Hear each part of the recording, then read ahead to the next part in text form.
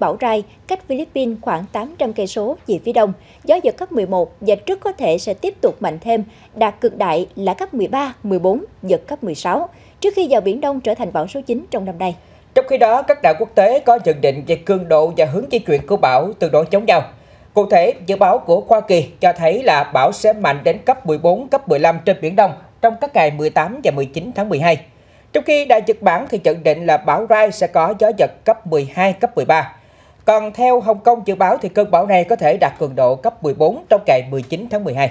Bão cuối năm sẽ có quỹ đạo khó lường, cường độ mạnh kết hợp với không khí lạnh từ phía Bắc đang tràn xuống. Vậy nên Ban chỉ đạo quốc gia về phòng chống thiên tai đưa ra ba kịch bản chỉ đạo điều hành ứng phó với bão số 9. Hiện các cơ quan dự báo quốc tế gồm Hoa Kỳ, Philippines, Nhật Bản và Hồng Kông đều chung nhận định dùng ảnh hưởng của bão chỉ trên Biển Đông. Với kịch bản này, các tỉnh thành cần điều chỉnh kế hoạch ra khơi đánh bắt từ ngày 9 đến ngày 21 tháng 12. Kêu gọi hướng dẫn phương tiện về nơi tránh trú an toàn, tra soát phương án đảm bảo an toàn dùng ven biển, những nơi có nguy cơ sạt lở cao. Kịch bản thứ hai, bão số 9 đổ bộ vào Trung Trung Bộ và Nam Trung Bộ, cụ thể là các tỉnh từ Quảng Bình đến Bình Thuận. Đây là khu vực có số lượng tàu thuyền hoạt động lớn nhất cả nước. Địa hình sông suối nhiều, dốc ngắn nên nguy cơ gây thiệt hại rất lớn về người và tài sản. Cần lưu ý nếu bão đổi hướng thì trong thời gian ngắn sẽ ảnh hưởng trực tiếp đến vùng ven bờ và đất liền, nên các tỉnh phải lên sẵn các phương án sơ tán dân theo hướng xen ghép và đảm bảo an toàn phòng dịch Covid-19. Vận hành hồ chứa theo đúng quy trình, bố trí sẵn phương tiện cứu hộ cứu nạn tại những nơi trọng yếu để phòng khi có tình huống xấu xảy ra. Kịch bản thứ ba, bão số 9 đổ bộ vào khu vực Nam Bộ. Dù khả năng này xảy ra là không cao, nhưng đây lại là nơi có sức chống chịu bão rất thấp. Nhà ở và các công trình, cơ sở hạ tầng chưa đảm bảo an toàn. Người dân và các tỉnh thành đều chưa có kinh nghiệm ứng phó, dễ có tâm lý chủ quan. Nếu bão vào, sẽ gây thiệt hại rất lớn về người và của. Thì hiện nay, phải xác định rằng là cái vùng mà nguy hiểm nhất đó là trên biển của chúng ta. Trên vùng trên biển của chúng ta thì hiện nay số lượng tàu thuyền đang rất lớn, trên 90.000 tàu thuyền. Ngoài tàu thuyền trên biển ra thì chúng ta còn số lượng tàu thuyền mà vận tải hàng hải đang rất là lớn. Và chúng ta cũng đã có rất nhiều bài học về thiệt hại do cơn bão đổ bộ vào khu vực mà tương tự như là cái cơn bão này, như là tôi đã nói về Chan Chu.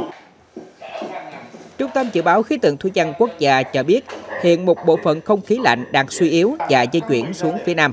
Đến ngày 17 tháng 12, một đợt không khí lạnh mới cũng sẽ được tăng cường và có thể tác động đến cường độ, hướng di chuyển của bão. Do vậy, khu vực ảnh hưởng của bão số 9 có thể là toàn Biển Đông. Theo thống kê trên hệ thống giám sát thiên tai Việt Nam, tính đến sáng nay có gần 11.000 tàu thuyền tập trung đang hoạt động trên biển. Chủ yếu là ở phía nam quần đảo Trường Sa, khu vực Hoàng Sa còn khoảng 600 tàu. Hiện Bộ Tư lệnh Bộ đội Biên phòng phối hợp với gia đình thông báo với các phương tiện nắm được hướng đi và diễn biến bão để kịp thời di chuyển ra khỏi vùng nguy hiểm.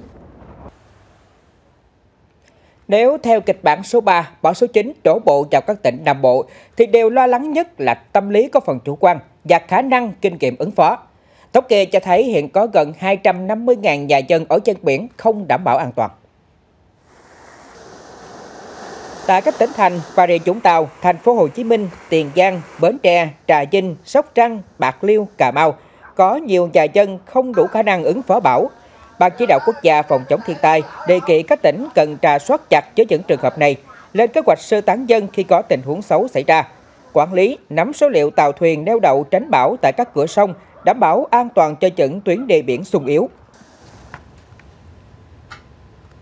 Trước bão Rai thì trong quá khứ cũng có nhiều cơn bão mạnh đổ bộ vào các tỉnh Nam Trung Bộ và Nam Bộ vào thời điểm cuối năm. Hầu hết là các cơn bão đều có đặc điểm là mạnh, quỹ đạo phức tạp, diễn biến khó lường và hậu quả để lại là rất lớn. Tháng 11 năm 1997, bão số 5 có tên quốc tế là Linda, hình thành ngay trên khu vực quần đảo Trường Sa với sức gió cấp 10, cấp 11, cấp 12, sau đó đổ bộ vào Cà Mau, Nghe tin này, nhiều người rủ nhau đi xem vì trong năm vùng này không có bão và hậu quả hơn 3.000 người chết và mất tích. Bão số 5 gây thiệt hại cho 21 tỉnh thành hơn 3.000 tàu thuyền bị chìm, hư hỏng, hơn 100.000 căn nhà bị sập, trên 200.000 căn nhà bị hư hại, tốc mái. Thiệt hại về kinh tế ước tính gần 7.200 tỷ đồng. Linda trở thành cơn bão thảm khốc nhất tại miền Nam Việt Nam trong vòng ít nhất 100 năm qua. Tháng 10 năm 2006, bão số 6 có tên quốc tế là Sansen đổ bộ vào miền Trung với sức gió cấp 12, giật cấp 13, 14. Đây là cơn bão có sức gió mạnh nhất khi đổ bộ vào đất liền trong 20 năm tính đến thời điểm đó. Sau bão, 76 người chết và mất tích, hơn 500 người bị thương, gần 350.000 căn nhà bị sập, tốc mái. Ước tính thiệt hại về kinh tế do bão Sansen gây ra lên tới hơn 10.000 tỷ đồng. Đây là con số lớn nhất mà một cơn bão gây ra tính đến năm 2006. Chỉ hai tháng sau đó, miền Trung tiếp tục hứng chịu bão số 9 có tên quốc tế là Durian. Cơn bão này di chuyển dọc theo gian biển cánh Hòa xuống vùng biển phía Nam qua Bình Thuận, gió giật trên cấp 12, có thời điểm lên cấp 15. Sau đó, bão Sầu Riêng tiếp tục di chuyển đến quyện Cần Giờ, thành phố Hồ Chí Minh, Tiền Giang, Bến Tre và một phần của Trà Vinh, Vĩnh Long và suy yếu dần khi đến thành phố Cần Thơ. Durian làm 85 người chết, 11 người mất tích, trên 160.000 căn nhà bị sập và hư hại, ước tính thiệt hại trên 7.300 tỷ đồng.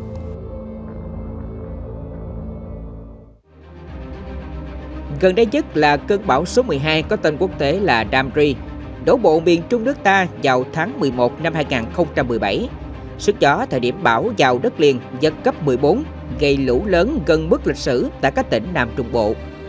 Bão và mưa lũ sau đó là 123 người chết và mất tích.